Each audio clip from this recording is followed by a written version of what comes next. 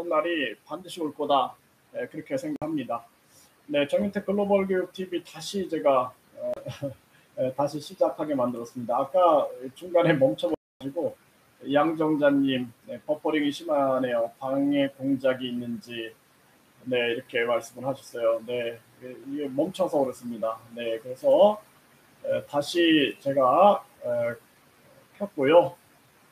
네 여러분들 다시 이제 방송이 에, 지금 되고 있네요. 네 다시 보시면 되겠습니다. 아 참 안타깝네요. 네. 에, 그래도 뭐 계속 해야죠. 네, 계속 우리가 목소리를 내는 게 중요하다 생각을 하고요. 네, 국회의원 국민 소환제 에, 국회 홈페이지에 공개돼서 227명이 동의해 주셨는데 이것도 공론화 될 겁니다. 국회의원 국민 소환제 계속 공론화 시켜야 되고요. 에, 기본소득 국민 배당제도 이것도 공론화 시켜야 되고 기본소득당은 우물한 개구리가 되면 안 돼요. 에, 계속 연대 연대 연대를 해야 된다.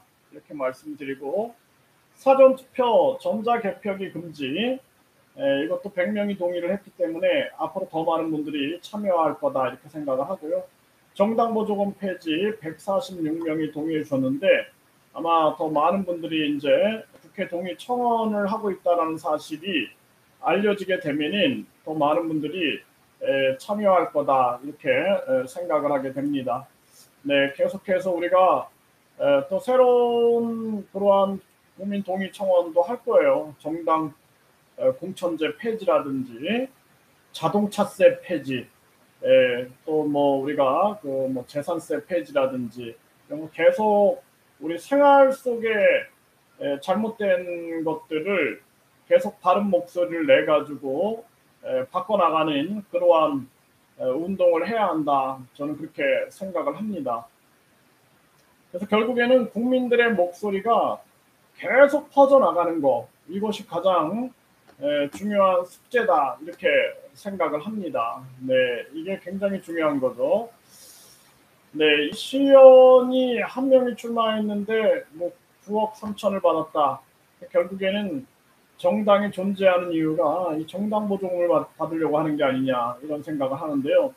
에, 우리가 정당 이 불신론, 정당을 국민들이 굉장히 불신하고 있고 에, 까마귀들이 노는 곳이다 이렇게 생각을 해요. 네, 그래서 우리 국민들이 에, 정당이야 에, 까마귀들이 노는 곳이고 아주 저질스럽다라고 생각을 많이 하는데 앞으로는 인터넷 땅 시대, 도덕이 살아있는 에, 인터넷 땅 시대가 열려야 되고 그래서 이제 많은 현자들이 까마귀들이 몰려 있는 정당에 안 가려고 하는 거죠. 그러다 보니까 또 정치는 더 썩어가고 있는 그러한 형태다 이렇게 보여집니다. 그래서 우리나라가 변화되기 위해서는 이 정당 보조금만 없으면 아마 이준석도 당장 새로운 창당을 했을 거예요.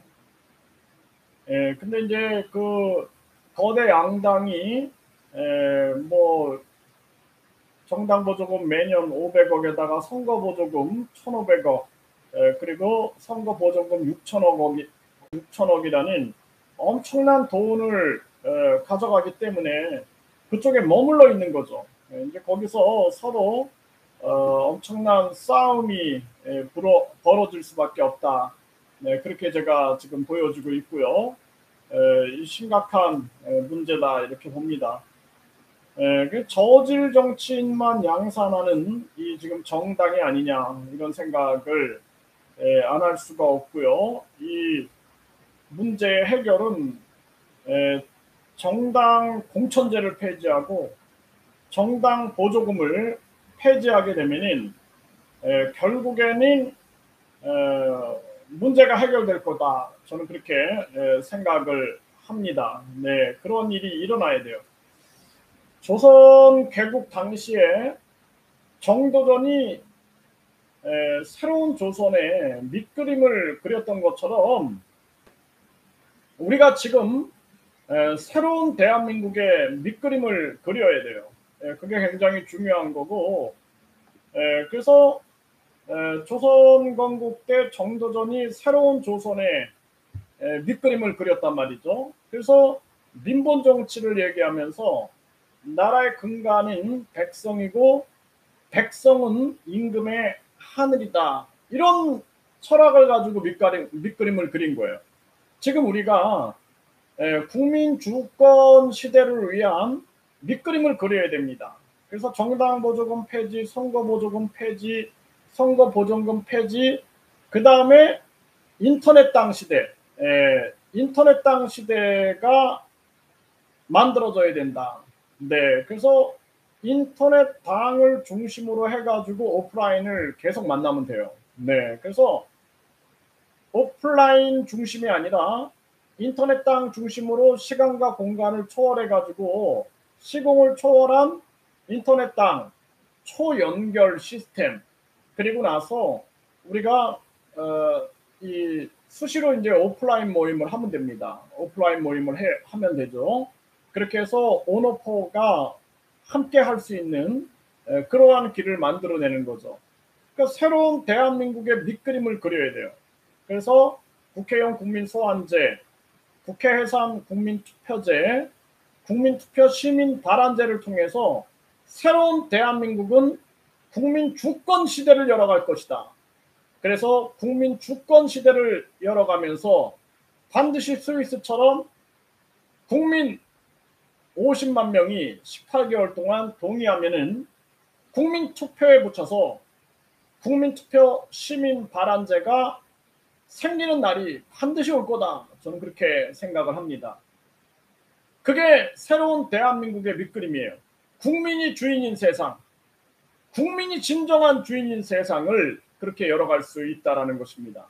그래서 국민들이 50만 명이 모여가지고 국회의원을 100명으로 축소하자. 그리고 실질적 수당제로 하자.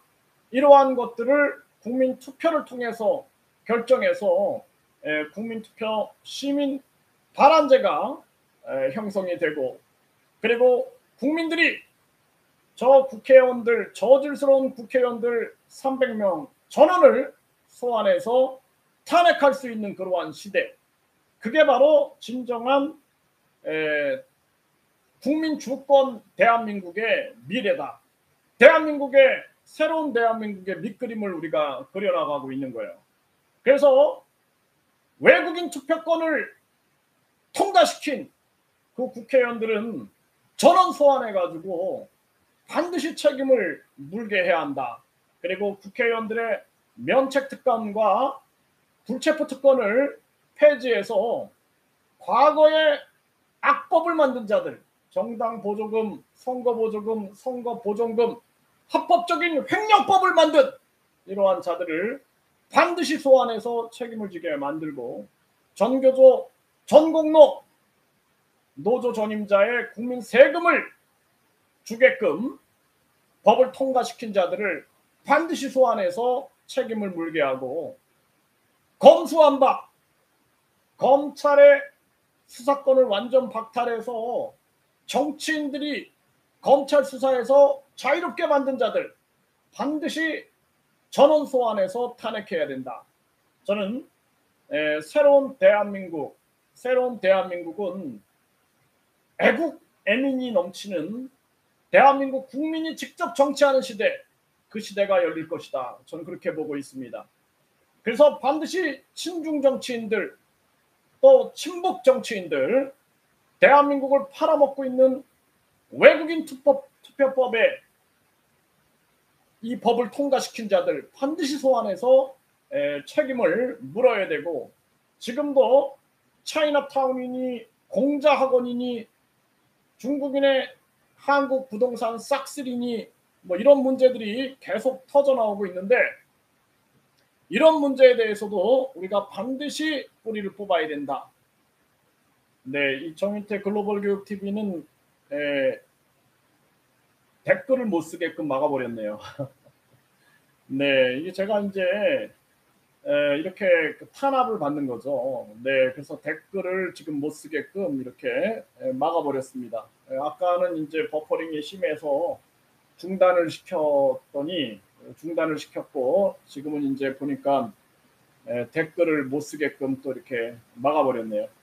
네, 참 안타깝습니다. 네, 뭐 네, 안타까워요. 네, 안타까운 일이 아닐 수가 없다. 네, 그렇게 생각을 하고 있고요.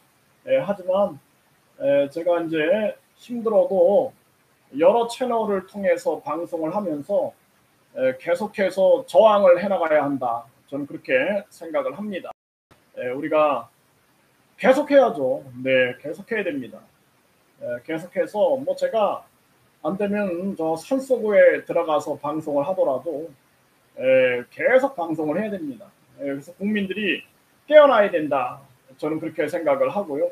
반드시 깨어날 거다. 이렇게 생각을 하고 새로운 대한민국의 밑그림을 그려야 된다.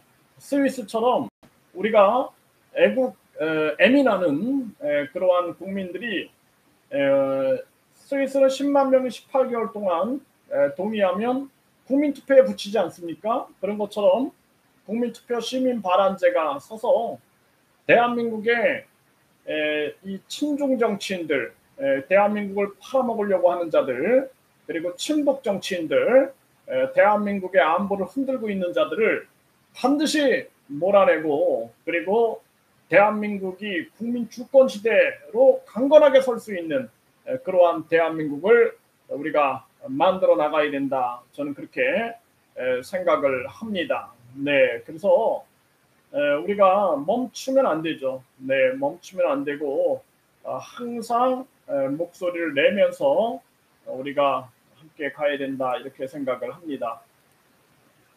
네, 이 우리나라 지금 정당 문제들이 굉장히 심각하고요.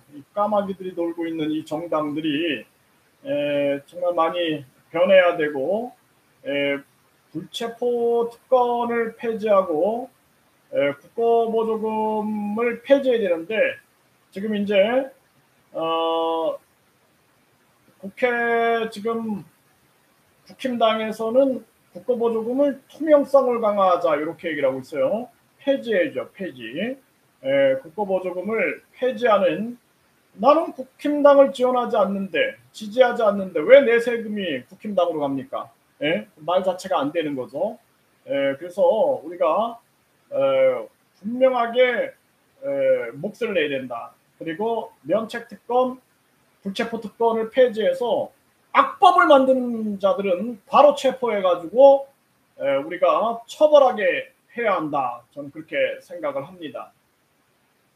네, 그래서 에, 기득권 이 양당 양당을 에, 무너뜨릴 수 있는 그 길은 에, 우리가 정당 보조금을 폐지하는 것입니다. 정당 보조금을 폐지하는 일이 에, 가장 중요한 겁니다. 네. 그래서 이 지금 소수 정당들이 외치고 있는 게 뭐냐면은 어, 국가 국고보조금을 소수 정당에 먼저 두텁게 주자 이런 법을 통과시키자 이런 목소리를 내는데 이게 국고보조금에 욕심을 내면 안 돼요. 예? 그래서 에, 지금 에, 국고보조금을 소수 정당에 먼저 두텁게 챙겨 에, 주자 뭐 이런 얘기들을 하고 있는데 법 개정을 통해서 이게 다 이 제밥에만 욕심이 있으면 안 됩니다. 우리 국민들이 나서 가지고 정당 보조금을 폐지하고 인터넷 당 체제로 가야 된다. 인터, 인터넷 당 체제. 이렇게 해서 우리 국민들에게 그 돈을 국민 권익금으로 되돌려 드릴 수 있는 그러한 시대를 만들어야지 이게 또 군소정당들이 정권을 잡으면 똑같아지는 거예요. 또 달라지는 건 없어요. 자기들이 국고보조금 받, 받아가고 자기들이 또 배부르고 변화되지 않는 거죠. 그렇기 때문에 우리 국민들이 이제는 깨어나가지고 폐지하라라고 외쳐야 됩니다. 그래서 열심히 도와가지고 에, 결국에는 뭐 제3지대 군소정당이 정권을 잡았는데 이거는 뭐 지네들이 또 정당 보조금 받고 배불러가지고 또 하나의 기득권이 된다 그러면은 이거는 우리가 헛고생하는 거예요 헛고생 예, 헛고생하는 거기 때문에 예, 국민들이 예, 국민 국민의 당연한 권리로서 국민 권익금을 받아야 된다.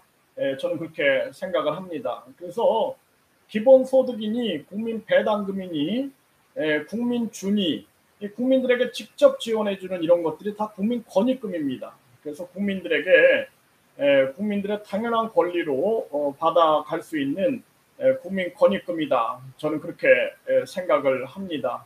에, 그렇기 때문에 에, 계속해서 에, 우리 국민들인 이러한 부분들을 외쳐나가고 에, 제3지대 많은 후보들이 많은 에, 국민들이 에, 힘을 모으고 에, 힘을 합치는 것이 에, 가장 에, 중요한 에, 숙제다. 에, 저는 그렇게 생각을 합니다. 네, 좋은 세상 올 거야. 네, 탄핵 가자. 네, 어지러운 대한민국 이런 얘기를 쓰셨습니다. 네, 이게 참 정인태 글로벌 교육 TV는 예, 댓글을 못 쓰게끔 막아버렸네요. 참 신기하네요. 네, 예, 아주 신기한 일이 예, 벌어졌습니다. 네, 네 여러분들 하여튼 예, 힘내시고요. 네, 여러분들 그 저녁 식사 맛있게 하시고요. 예, 또 뵙도록 하겠습니다. 네, 우리의 목소리는 헛되지 않다.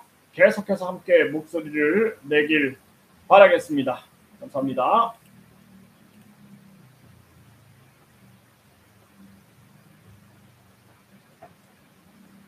네, 어, 여러분들 저녁 식사 맛있게 하십시오.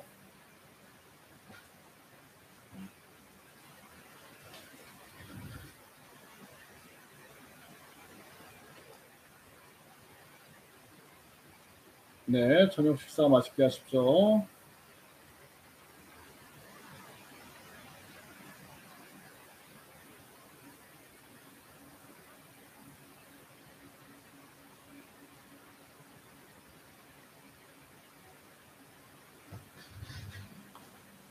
네, 저녁 식사 맛있게 하십시오.